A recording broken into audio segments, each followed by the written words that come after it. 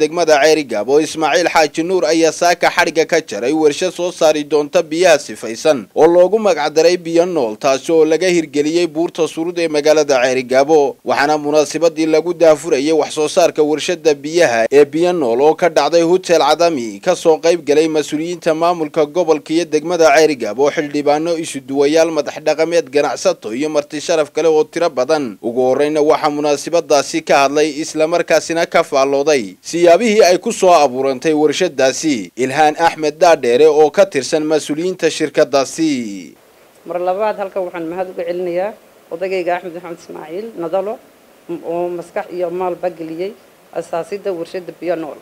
Markuu arkay baahida gobolka baaxadana leh u qabo biyo safaysan oo taya leh. Haddaba waxaa sharaf noo ah inaad nagala soo qayb gashaan furitaanka warshada cusub ee biyaha taas oo laga soo saaray magaalada ceergaabo markii ugu horeysay waxaana ilaahay uga baryayaa inay noqoto mid inoo midho dhalisa dhammaanteen iyo in rabbi inooga dhigo kuwa gacmaha isku qabsada horumarinta gobolka iyo dalkoodaba daahfurka warshad cusub oo safaysa biyaha magaceedana la yidhaahdo biyo nool. Ama biyaha kan waxaa safeeya shirkad lagu magacaabo xariiri. Biyahani waxa weeye biyo ay aada iyo aada u sarrayso tayadeedu premium water oo ka soo baxay buurta ugu jooga dheer dalkeenna ee surud gaar ahaan ceelka boqol iyo labaatan habeen oo la qoday muddo laba sano ka hora. Biyahani waa biyo dabiiciya oo aan lagu darin wax kiimika ah. Lamana macaanayn waa la safeeyey uun. Biyahani waxay ka kooban yihiin laba nooc.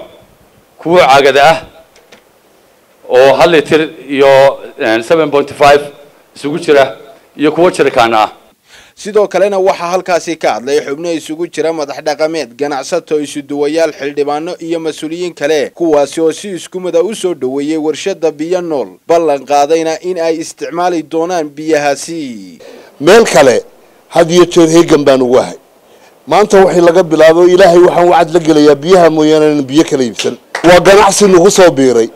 Ummad waliba waxay ka hadashaa wax soo saarkeeda waxaan leenahay tobanka kartuun ee ugu horreeya anaa ka iibsanaya warshadda sidaa darteed waxaan leenahay aad iyo aad baan u soo dhawaynaynaa ilaahay ajar iyo xasanaadna ha idinka siiyo. Wixii idinka galay faa'iida iyo faa'iidadoodiiban alla ha idinka soo celiyo innaguna sidaa iminka cuqaasha horeba sheegtay. Dee war biyaha awalba dee weyn meel fog baynu ka doonan jiray mar hadday iminka gurigeenni yihiin amba faydne waxba hayfar waan ku faraxsannahay warshadda. Mulkiilaha axmedna aada iyo aad baan ugu mahadnaqaynaa dadkana waxaan leenahay ha lagaga daydo. Axmed maxamed ismaaciil iyo ilhaan axmed maxamed oo ahaa hantiilayaasha. Biyahan inoo sameeyey ee maalgeliyey waa dad reer ceer gaaba kasta oo sidaasa uqurba joogana waxaan rajaynaynaa inuu soo kordhiyo tallaabo lamida tan oo kale. Aad iyo aadna waan u soo dhawaynayaa anigoo biyaha ka tirsan. Mas'uuliyiinta biyaha ah aad iyo aad baan u soo dhawaynayaa waxaanu leenahay waanu ku celinaynaa ka nixi mayna waanu soo dhawaynaynaa waxaanu ku soo dhawaynaynaa weliba si qalbi furana.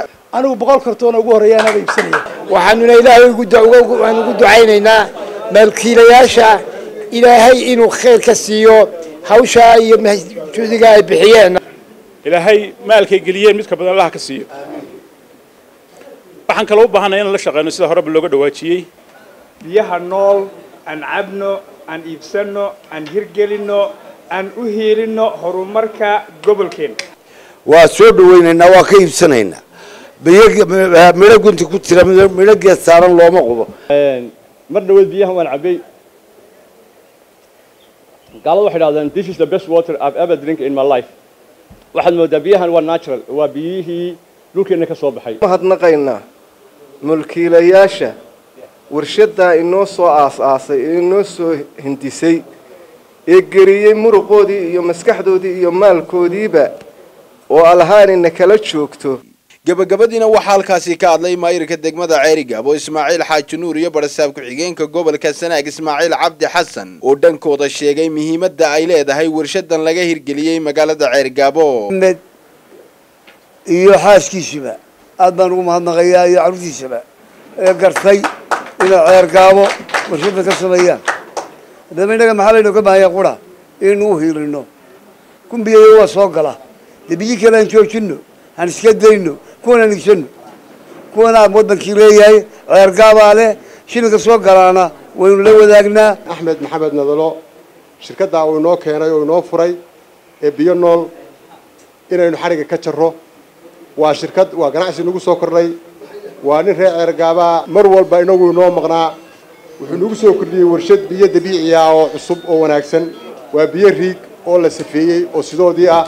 Ma aha biyo bad laga safeeyey ama wax kale maaha waa biyaheennii macaana aynu niqinay oo la sii safeeyey oo wixii qashin ahaa laga saaray. Waa biyo naanfacaya baacamusharkana biyaha uu sameeyey qualitigeeda ayaaba dee makhraanti noqonaya.